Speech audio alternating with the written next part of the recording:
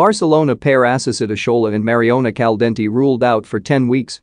Barcelona forwards Oshoala and Mariona Caldentey will both be sidelined for the next 10 weeks after each suffering thigh injuries. Caldentey was forced off during Spain's clash with Germany in the opening match of the Arnold Clark Cup in England and withdrew from the squad on Friday morning. Oshoala is away with Nigeria but missed her country's win over Ivory Coast in a World Cup qualifier on Friday afternoon. The influential pair are not likely to return to action before the end of April, which means missing both legs of the Champions League quarter-final tie against Real Madrid.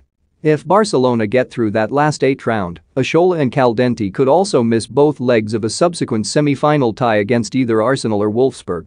Even if they are back in training by then, a lack of match fitness after more than two months out would count against them. With Oshoala nursing a problem in her left thigh and Caldentey suffering with her right, the biggest blow for each player will be missing the home leg of the Champions League clash with Real Madrid, which is to be played at a sell-out Camp Nou next month. A Barcelona women's team first played at Camp Nou in 1971, but the upcoming Clásico will be the first time playing at the iconic stadium in front of fans since then. Last season's City Derby against Espanyol was held there but played behind closed doors because of COVID-19 restrictions.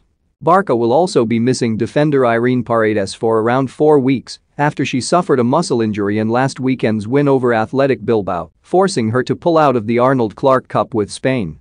Meanwhile, Caroline Graham Hansen is currently nursing an ankle problem. For more from Jamie Spencer, follow